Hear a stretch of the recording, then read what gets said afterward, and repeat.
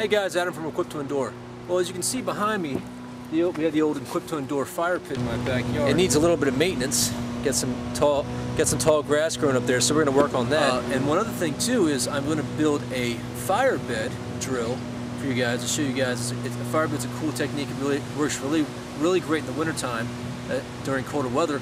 But the other thing it does is in the summertime when you guys are packing ultra light out there and you don't want to carry a big sleeping bag or you don't think a sleeping bag is necessary, in case you get a cold snap for whatever reason, or if it gets colder than you expect in the nighttime, it's a great way to keep warm so you won't need the need of a sleeping bag or a blanket. Uh, one cool thing about it too is multifunctional. You can use it to cook on, to sleep on, and then also it'll it'll control your fire to make sure that you know your fire's out, so you don't have to worry about starting any fires or anything after you leave So one cool, one quick thing about the fire bed, basically you're gonna, you're gonna dig a hole, a pretty wide hole, man-sized hole, about six to eight inches deep.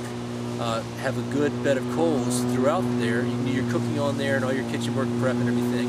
And then once you're done, uh, you can cover it up with dirt, pine needles, and other things like that to kind of make a nice cushy bed with about two to three three inches worth of material. Now, one thing that I always do when I make them is I throw some green material on top of the coals before I start to bury them.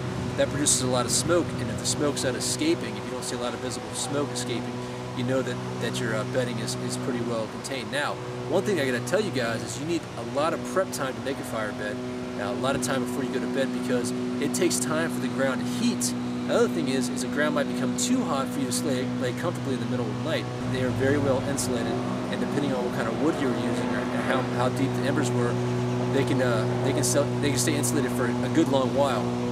Another caution to be concerned with is if you're building them on top of a root system, you have a chance of igniting that root system. That root system can actually burn for miles. Uh, so you got to be careful with that as well, because a lot of a lot of older forests where, where roots are intermingled in the ground, you can actually start a fire at one location, and that fire can continue underground on a root system and lead to a fire at a separate locations. So when you guys are constructing these, make sure you're watching around for root systems. You know, the trees in my backyard are relatively young. I think my oldest tree here is probably 100 years old, so I don't have to worry about that as much. The system, the root system isn't going to be as, as spread out.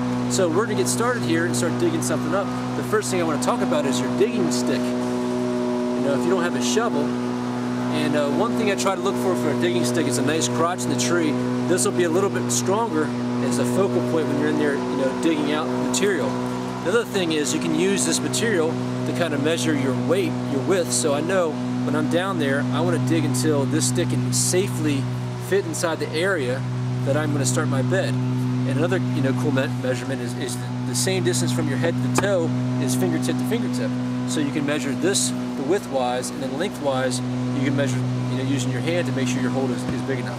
So we're going to get started here in a second. We're going to get that dug out and start a fire, cook on the fire, and then we'll be back to talk to you about the details of the fire pit. We'll be right back. Okay guys, so we got our rocks moved away. Here's my fire pit area over here. And you can see I have a tarp right here. What I'm going to do is I'm going to put the dirt on top of the tarp. So when I'm ready to throw the dirt back onto the hole, it's very easy to transfer it. And also I can really transfer it nice and evenly. So that's a, just a quick tip. Anytime that you guys want to, you know, dig out a hole, especially uh, out in the woods or something, you want it easier to transfer the dirt, throw a tarp down, throw the dirt on the tarp. That way you can move it a lot easier and fill that hole as you need to fill it. So, all right, we're gonna get to digging. all right, guys, we got our hole dug out here over here. One thing that I didn't do correctly, I started getting too fast into it, is you guys can see the difference between where the tarp is. The tarp should be right there on the edge. Uh, but that's, can you guys even see that? But that's okay, we're gonna make it work anyway. All right, so here's the area that we have. It's been enough for me to lay my torso inside. I'm not gonna have, you know, my feet are gonna kick out a little bit, that's gonna be all right. And uh, one other bonus that this is gonna do is gonna aerate the, the earth a little bit, so it's gonna be a lot softer sleep for me once I put the dirt back on there. I'm taking out all the rocks and everything else. Hey buddy, in your place. So uh, we're gonna go ahead and start making our fire structure. So the first thing we're gonna do is I got a, a lot of boards here from uh, our baton, batoning test for our large blade knives. We're gonna spread these out over the length of the fire pit. Now this is not gonna be our fire structure itself, but this is gonna ensure that we have a lot of ashes by the end of dinner tonight. And I'm actually going to do a few fires on here and give you guys some examples of some different techniques. Now one good thing is there's a little bit of concavity to this this ditch, so there's to be plenty of air underneath all of these individual pieces of wood. Alright, so the next step is we're going to make a couple different structures. One, one structure I'm going to make over here is your, your standard log cabin type structure. Over here we're going to do more of your bonfire or teepee type structure, whichever one you guys like to in these, these structures is actually be the amount of light they create and how fast they burn. Of course, teepee is going to burn faster, brighter, and hotter. It's good for uh, actually cooking fires because it's gonna, you're to get that bed of coals very, very quickly. All right, guys, let me put it and stone these fires together and get them started, and then we'll come back.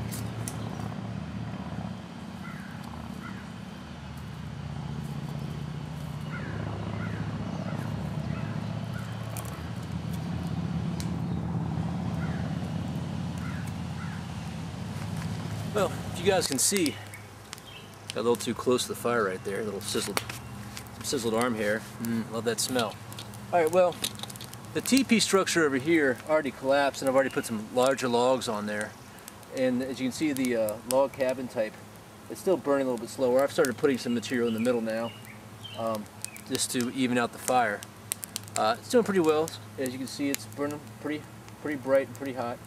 It's still cooking more uh, over towards the, uh, the left side there for you guys. Over here, the uh, log cabin is actually burning better on the left side because of the heat coming off of the teepee structure fire. And let's place that large log in the middle with some other stuff uh, under there to kind of bridge the two, just to kind of get it burning. So all the wood can burn down, uh, so we're gonna let that burn for a little bit. I'm gonna go in and eat, so we'll be back here real soon. Hopefully it won't be dark by the time I get back out here. All right, guys.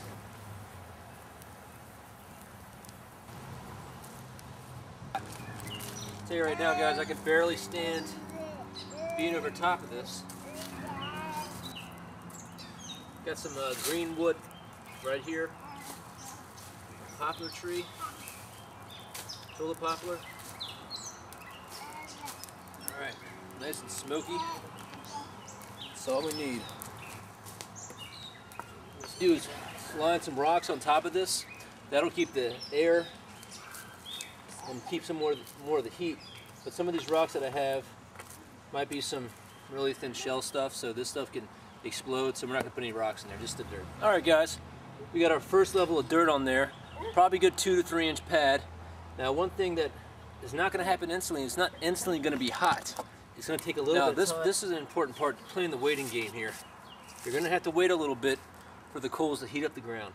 So you want to add the dirt a little bit at a time, and you want to make sure you have enough time before you go to bed. Now, one problem with this, if you don't put up enough dirt on there, and you kind of got to play around with this and do this a few times so you get to, you get accustomed to it, is it gets too hot, and then you won't be able to sleep on there. Now, another thing is, this thing can stay pretty warm for hours. I'm talking about when I come back tomorrow, and hopefully I'll get a chance to come back out here tomorrow, and I'll still be able to feel a, a difference in the ground next to it and on top of the coals. So it's going to insulate those coals that are still burning in there, just very, very slow.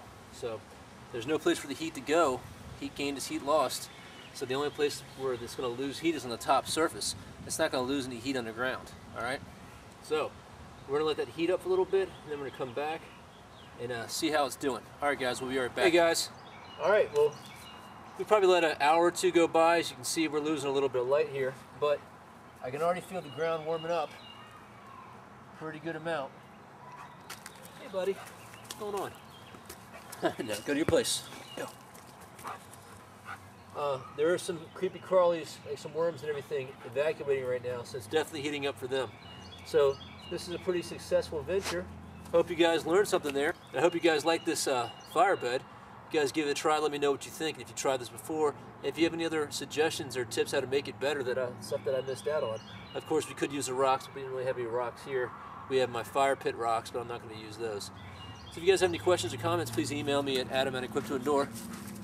Hey, buddy. Seats. Lots. Ah, Ace says goodbye, too. Good boy. you guys take care. Be safe out there. Remember, If you're not always prepared, you're never prepared. Thanks. What are you doing? What are you doing?